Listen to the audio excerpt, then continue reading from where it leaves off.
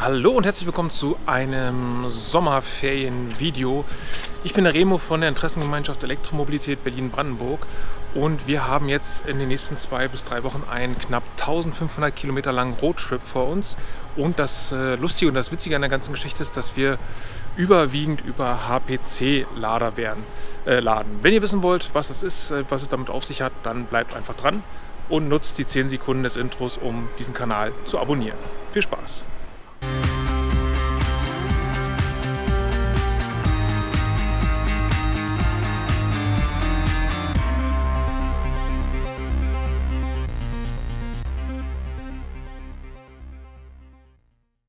So, los geht's. Wir sind jetzt voll geladen. Ähm, 213 Kilometer Range wird angezeigt, hundertprozentig voll geladen, natürlich selbstverständlich. Heute die erste Strecke geht von Berlin nach Wernigerode. Auf dem Weg dorthin gibt es in Hohenwarsleben, Irksleben auf dem Rasthof einen Ionity Schnelllader, äh, beziehungsweise mehrere gleich. Ähm, das Besondere, oder beziehungsweise die HPC bedeutet im Grunde High Power Charger.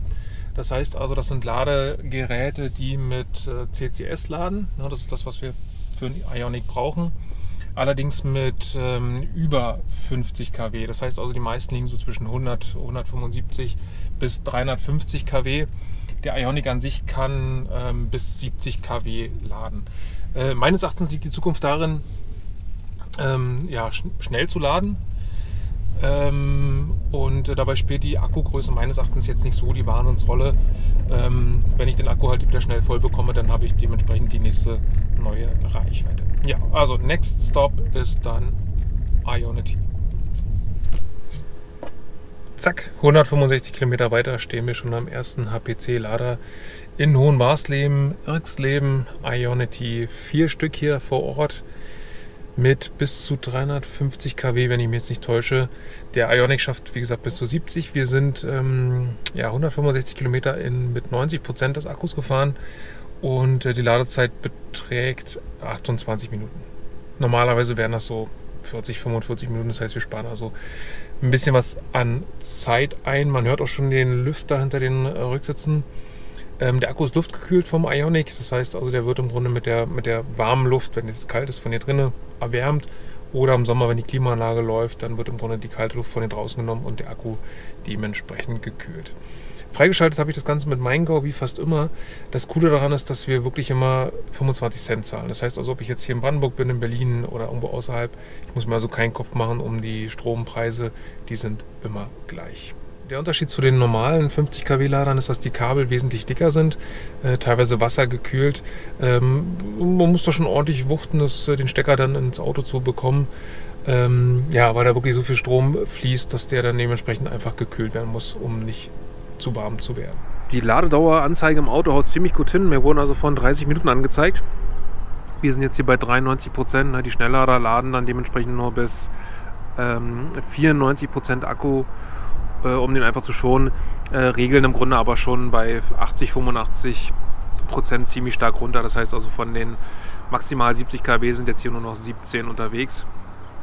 Und da jetzt macht es klack klack und dann ist der Akku voll.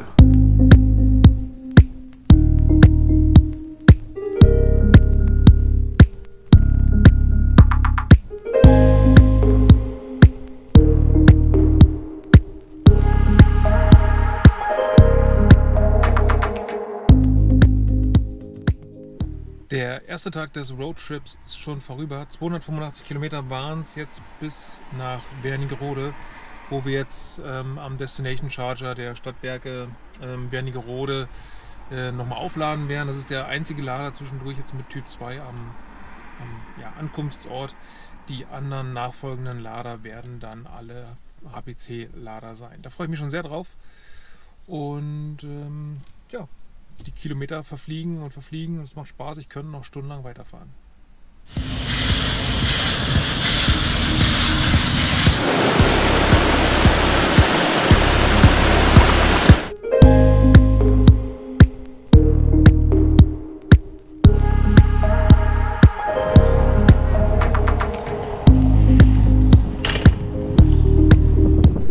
zack ist eine Woche Urlaub schon wieder rum. Ich habe euch ungefragt mal ein paar Impressionen ähm, ins Video reingepackt.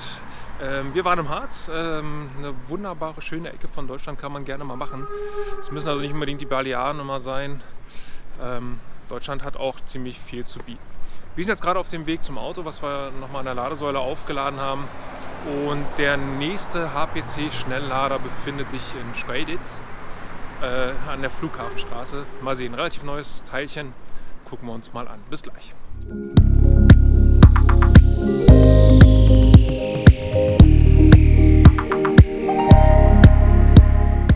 Ja, wir haben unseren Ladeplatz gefunden am HPC-Lader hier in Schkeuditz. Bei Go Electric stand schon drin, dass der Lader wohl irgendwie ähm, runterregelt. Ähm, ich hatte das, den gleichen Typ auch schon in Berlin ähm, an der Telekom Hauptquartiergeschichte dort. Ähm, da hat er irgendwie auch abgebrochen oder irgendwie sowas. Da muss ich auch ein paar Mal starten mit einer Fehlermeldung, die ich bis jetzt noch nicht kannte. Mal sehen. Also ja, wir müssen jetzt nicht viel laden. Der nächste Punkt ist nicht allzu weit entfernt, äh, in der Schleiz. Also nicht in der Schleiz, sondern in Schleiz, der Ort. Ähm, da hat es auch äh, mit zwei HPC-Lader nebeneinander direkt äh, bei McDonalds aufgemacht. Da wollen wir auf jeden Fall hin. Das sind jetzt nur knapp 111 Kilometer. Das heißt, es ist jetzt nicht so wahnsinnig schlimm, wenn er jetzt irgendwann runterregelt. Aber schade ist trotzdem. Ja, wir fliegen zum Mond, aber wir schaffen es nicht, aus so einer blöden Ladesäule mal 70 kW rauszuholen. Das ist ein echtes Armutszeugnis. Nee, also so wird das nichts mit der Elektromobilität.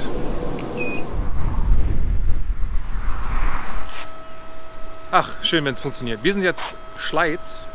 Ähm, brandneu, zwei HPC-Lader, die hier stehen äh, von den Thüringer ähm, Werken. Ähm, wir sind fast auf Null gewesen, haben jetzt also knapp ähm, ja, halbe Stunde Aufladezeit hier. Das geht also ziemlich ratzefatz. Äh, alle die ähm, Ladesäulen, die ich bis jetzt angefahren habe, habe ich mit Maingau äh, freigeschaltet.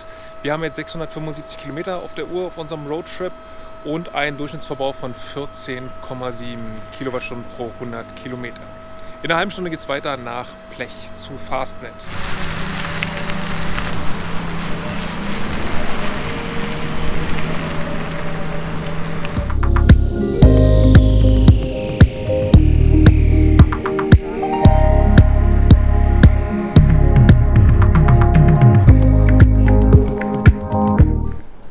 So, letzter Ladestopp in der Oberpfalz irgendwo. Ionity wieder. Wir haben Fastnet übersprungen. Wir sind so gut vorangekommen, dass ich gedacht habe, wir lassen Fastnet in Plech ähm, ausfallen. Sind jetzt knapp 170 Kilometer durchgefahren mit Klimaanlage, vier Personen voll beladen bis nach irgendwas in der Oberpfalz. Ja, hier Ionity äh, mit vier Ladern ähm, das nächste Mal werden wir dann äh, wieder äh, als Destination Charging im Hotel laden. Und äh, ja, dann haben wir im Grunde schon den Hinweg hinter uns. Jetzt haben wir gerade knapp 850 Kilometer hinter uns. Und ja, ein bisschen was kommt noch. Und nachdem wir dann dort eine Woche geurlaubt haben, nehmen wir euch wieder mit auf die Rücktour nach Hause von den bayerischen, ähm, bayerischen Wald bis nach Berlin. Ähm, das Schöne bei Ionity ist, man kann wunderbar sehen, wie schnell und wie ähm, viel er lädt. Allerdings ist es leider so, dass der Bildschirm irgendwie so komisch sonnenempfindlich ist, dass ich gar nicht weiß, ob ihr jetzt irgendwas erkennen könnt. Also wir haben jetzt knapp 27 Prozent. 62 kW. Das ist natürlich schön. Ähm, eine Vollladung jetzt aktuell, wenn er fast leer ist, dauert um die 30 Minuten. Wenn ich an einem normalen 50 kW Lader stehe, dann äh, sind das auch mal ja, 43 bis 45 Minuten. Äh, das heißt also, es ist schon deutlich geringer ähm, vom Zeitaufwand als ja, an einem 50 kW Lader. Ähm, wir merken das immer, dass wir dann in den Restaurants bzw. Äh, bei den Hals eigentlich äh, das Auto schon vollgeladen ist und ähm, ja, wir halt immer noch irgendwie anstehen oder auf Klo sind oder irgendwie sowas. Also sprich, die Pause ähm, könnte manchmal kürzer sein, als das Auto eigentlich zum Laden bräuchte. Ach, ich freue mich. Elektromobilität macht mir so viel Spaß. Und dieses ganze Raussuchen, dieses Aufladen, dieses kleine Päuschen machen, weiterfahren. Ähm, der Ionic, ein wahnsinns effizientes Auto, wie ich immer wieder finde. Es macht Wahnsinn Spaß.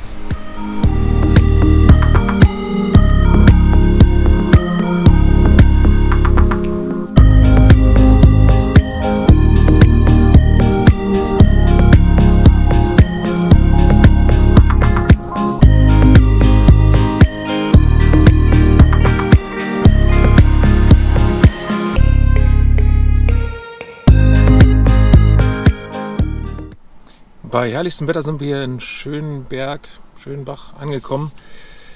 Mit knapp 8 Kilometer Restreichweite, 5 Prozent, ihr habt es gerade schon gesehen, ähm, auf dem letzten Drücker hat unser Roadtrip jetzt 1022,7 Kilometer auf der Uhr. Ja, wir landen jetzt über Nacht ganz in Ruhe und dann werden wir den Urlaub genießen und nach dem zweiten Teil des Urlaubes auf den, uns auf den Rückweg bewegen, wo wir dann auch wieder ähm, andere HPC-Lader noch anfahren werden, um es euch ein bisschen spannender zu machen. weder Caroline noch Ulrike sind da unten. Ja, auch der schönste Urlaub ist mal irgendwann zu Ende. Wir haben heute jetzt an einem Sonntag eine Strecke von 630 Kilometer aus dem Bayerischen Wald nach Berlin wieder vor uns. Vier Ladestops habe ich eingeplant, drei davon an HPC-Ladern, wenn alles gut geht. Mal sehen. Also viel Spaß und ja, bleibt dran.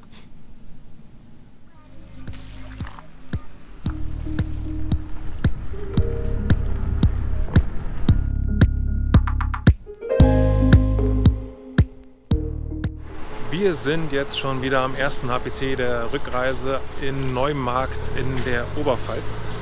Ähm, hier kann ich mal so ein kleines Argument widerlegen, ne, dass Autofahren, Auto betanken irgendwie fünf Minuten dauert. Ich habe gerade mal gemessen, die eine stand alleine schon knapp zehn Minuten, um äh, vorzufahren an die, äh, an die Tanksäule, dann noch tanken, dann noch reingehen, drin eine tierisch lange Stange. Also auch selbst der, der Vorgang des Tankens dauert hier zumindest an der Autobahnraststätte um die Viertelstunde. Ich werde jetzt nicht allzu viel laden, ich denke mal 20 Minuten. Ähm, dann werden wir zum nächsten Ionity-Lader fahren, der ist in äh, Himmelkron. Äh, irgendwie sagt mir das was, aber ich weiß nicht so richtig was. Aber weiß nicht, vielleicht war es der erste oder sowas in Deutschland. Ähm, keine Ahnung. Jedenfalls fahren wir da dann als nächstes ähm, ran. Ja, bei der Hinfahrt habe ich mich noch gefreut, dass wir 25 Cent bezahlen. Gestern kam irgendwie die E-Mail von Maingau, dass sie die Preise anheben zum 1.8. zum Glück. Da sind wir schon zu Hause von 25 Cent auf 35 Cent.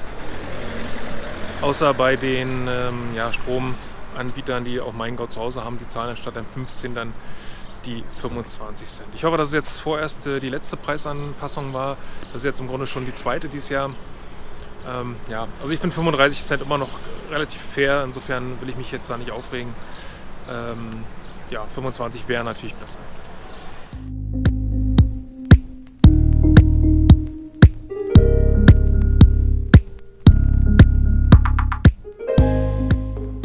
So sieht es äh, beim Ionity Lader in Himmelkron aus. Ja, also mir ist nicht eingefallen, womit ich das verbinde. Ist auch egal. Vielleicht sind wir schon mal lang gefahren oder ich habe schon mal auf dem Schild gelesen.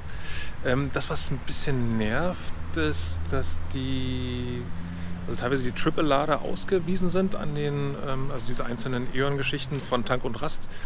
Ähm, die sind schildermäßig äh, komischerweise dran äh, an, den, äh, an den Abfahrtsschildern oder an den ähm, Richtungsschildern aber so ein Ladepark, der ist nirgendwo zu finden. Also weder auf der Abfahrt noch äh, auf dem Autohofschild stand irgendwie drauf äh, Ionity oder Ladegerät oder was weiß ich irgendwie. Ähm, dass man halt immer so ein bisschen komisch rumfährt in der Gegend. Die Leute gucken einen immer schon an, was man denn hier will. Ähm, mittlerweile weiß ich, dass die meistens in den hinterletzten Ecken immer ähm, reingebaut sind, wie hier auch. Aber schön wäre schon, wenn da irgendwie einfach mal ein Hinweisschild. Das reicht ja so ein Auto mit einem Stecker dran oder eine, eine, Tanksäule mit einem Stecker dran, dann weiß ich ja schon, wo ich äh, lang muss. Jo, nö, läuft, macht Spaß. Habe gerade gesehen, da hinten steht noch ein Triple von Allego. Und ich habe mir gedacht, ich bin jetzt auch mal Schwein, ich blockiere jetzt einfach auch mal mehr, als ich eigentlich brauche. Nein. Ähm, irgendwie hat die Säule abgebrochen. Das hatte ich bei Ionity jetzt noch nicht mit Fehlercode 50 und Fehlercode 302 und es war jetzt so, dass es irgendwie nicht mehr zum äh, Laufen ging, Laufen gebracht habe, dass ich jetzt einfach gedacht habe, okay, ist gerade keiner da, wenn nicht, kannst du immer noch umparken. Und äh, habe jetzt einfach die andere Säule angestöpselt. Mittlerweile, ich habe schon gedacht, mich mag keiner so richtig, ähm, ist auch noch ein zweites Fahrzeug gekommen. Allerdings leider irgendwie ein ausländisches Kennzeichen. Das heißt also, ich habe auch hier leider keinen zum Unterhalten. Ihr wollt mich nicht, ihr wollt nicht mit mir quatschen. Ein richtig schicker Jaguar I-Pace. Ha, auch schick. Aber viel zu groß, viel zu mächtig und viel zu teuer. In der HPC-Folge wäre jetzt eigentlich der nächste von hier gelegene dann in Nempitz oder bei Bad Dürrenberg. Das ist immer das gleiche. Allerdings äh, sollte der zum 1.7. öffnen, aufmachen. Ähm, so wie es ausschaut, wurde er immer noch nicht eröffnet. Ähm, ich gehe jetzt das Risiko nicht ein, fahre da nicht hin, um zu festzustellen, dass der dann noch einen Bauzaun ringsrum hat. Wir werden äh, nach Eisenberg fahren, das ist auf Höhe von Jena. Ähm, das wäre dann im Grunde der dritte Ladestopp und äh, von dort aus geht es dann weiter nach Fleming Ost.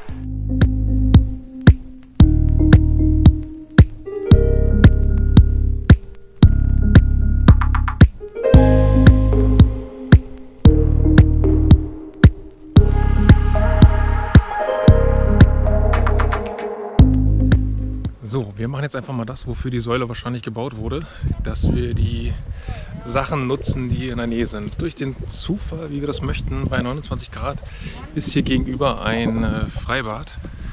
Und äh, wir nutzen jetzt nicht nur die 45 Minuten Ladezeit, sondern bleiben da wahrscheinlich ein bisschen länger und genießen nochmal den Sommer. Wir sind ziemlich durchgekommen bis jetzt und äh, gehen einfach nochmal ein bisschen baden, ein bisschen planschen.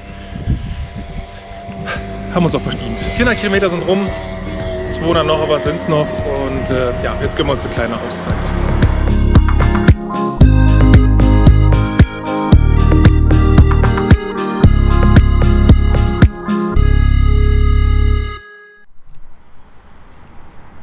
Oh Mann, 1680 Kilometer liegen bald hinter uns, ist nicht mehr lang bis nach Hause und die letzte Ladesäule, eine E.ON-Ladesäule, hat das Blut nochmal zum Kochen gebracht. Unglaublich, ja gut. Also sie wurde freigeschaltet vom Service. Äh, alles andere hätte ich jetzt auch nicht wirklich akzeptiert. Ähm, sie funktioniert, sie lädt. Ähm, ich hoffe, dass wir dann mit nach Hause kommen. Ja, beim Freibad war es leider so, dass wir dann zum Auto kamen und das Auto nur, 8, äh, nur 50 Prozent geladen hatte. Äh, nach irgendwie 20 Minuten hat es irgendwie abgebrochen. Auch ein bisschen schade. Wir haben es dann nochmal 20 Minuten laden lassen und sind dann erst los, mussten dann nochmal warten. Was ich mir für die nahe Zukunft noch wünschen wär, würde, wäre tatsächlich wirklich eine App-Anbindung an das Auto. Und hätte ich jetzt im Schwimmbad gesessen und äh, gegen die App auf, ihr Auto, die Ladung wurde abgebrochen, hätte man schnell mal hinlaufen können, das beheben können und dann wäre gut gewesen. Ähm, also in dem Falle war das jetzt echt, ähm, wäre das jetzt echt sehr hilfreich gewesen. Die zweite Sache, die ich mir wünschen würde, ähm, das, was bei Tesla schon gang und gäbe ist, ne, äh, dass mich das Auto ein bisschen besser führt. Ne. Momentan muss man sich selber noch hinsetzen, an die Ladesäulen schauen, ähm, welche man nimmt, wo es lang geht, welche die nächste ist, wie groß die Abstände sind. Und wenn einem das Auto sagen würde, pass auf, nächste Abfahrt ist eine Ladesäule, die kannst du nutzen, solltest du auch, weil du kommst nicht wirklich weiter bis zu deinem Ziel, was du eingegeben hast, dann wäre das schon eine ziemliche Hilfe. Das wäre ziemlich cool, das äh, kann ja über eine App funktionieren, das muss ja jetzt nicht unbedingt mit einem Auto verbunden sein. Ähm, so eine Art Routenplaner in, in der Maingau-App drin oder irgendwie sowas, ähm, was dann gleich anzeigt, wo die nächste Ladesäule ist und wie weit und ähm, ob die äh, Stationen tatsächlich frei sind. Ne? Das heißt also nicht, dass ich dann rauffahre und äh, unnötig rauffahre, weil da vielleicht schon jemand lädt. Das wäre sehr wünschenswert für die Zukunft, also eine App-Anbindung und ein Auto, was so ein bisschen mehr mitdenkt. Die Dichte an Ladestationen äh, gen Süden sind schon ziemlich hoch. Ähm, also auch das, was ich in Stuttgart erlebt hat, äh, Richtung äh, Westen nach Köln, ähm, jetzt Richtung ähm, Tschechien nach unten. Das ist ziemlich genial. Wo es halt leider echt noch hapert, ist Richtung Berlin bzw. kurz vorher. Äh, also wenn jetzt die Ionity-Leute sich doch mal mit einem Nempitz irgendwie ähm, ja, mal ans Netz schmeißen können. Kommen wir fast bis Berlin. Da fehlt also echt nicht mehr wahnsinnig viel. Dann ist man ähm, in Berlin ziemlich genial. Wer jetzt äh, auf dem Berliner Ring A10 äh, bei Michendorf, wo jetzt eine riesengroße ähm, großen, großer Rastplatz geplant ist, links und rechts auf beiden Seiten, wenn da jetzt noch so eine Säule hinkommen würde, oder so ein Ladepark, ähm, dann ist man im Grunde nach, nach Süden komplett frei und komplett offen und kann da selbst mit einem kleinen Akku äh, wunderbar große Strecken äh, bereisen, ohne irgendwie auf Probleme zu stoßen. Ja. So, mein Fazit ähm, für die Reise. Ja, wie gesagt, 1680 Kilometer von Berlin nach Magdeburg zum Bayerischen Wald und wieder nach Berlin zurück. Äh, Durchschnittsverbrauch von 14,3 Kilowattstunden pro 100 Kilometer. Ähm, hin bin ich mit 120, 125 gefahren. Äh, zurückladen äh, lagen zwischen den Ionity-Stationen so um die 100, 120 Kilometer. Da bin ich auch mal 150, 160 gefahren. Ähm, super Schnitt für vier Personen, komplett beladen das Auto. Äh, eine sehr tolle Sache. HPC sind meine neuen Freunde. Ich stehe total drauf, äh, selbst wenn er nur mit, äh, nur mit 63, 64 kW ähm, lädt. Also in, egal wie wenig ich dort angekommen bin, maximal 30, 31 Minuten war das Auto wieder bei 94 Prozent und es ging weiter. Ähm, wenn die Dichte so groß wird oder ist, dass man sagen kann, man geht halt eben, weiß nicht, bis ähm, 85 Prozent, dass man also wirklich nur den, den schnellen Ladebereich mitnimmt, äh, dann ist man äh, zeitlich noch schneller unterwegs. Wir waren jetzt nicht in Eile mit den Kindern, die eh alle paar Minuten irgendwie ähm, ein Päuschen brauchen, äh, waren die Abstände ziemlich ideal. Also selbst mit dem, mit dem kleinen Akku vom Hyundai mit den 28 Kilowattstunden, äh, so alle 150 bis 180 Kilometer eine Pause zu machen, war ziemlich ideal. Ja, das war der Roadtrip. Ich danke euch wieder mal vielmals fürs äh, Zusehen. Und ähm, ja, falls ihr Fragen habt, irgendwelche Sachen unklar waren oder irgendwie sowas, postet es einfach unter das Video. Ich werde versuchen, die Sachen dann so schnell wie möglich zu beantworten, die ihr noch offen habt. Ähm, vielen Dank fürs Zusehen, bleibt gesund und äh, ja, nicht vergessen den Kanal zu abonnieren und dann sehen wir uns auch bald wieder. Bis dahin, ciao, ciao.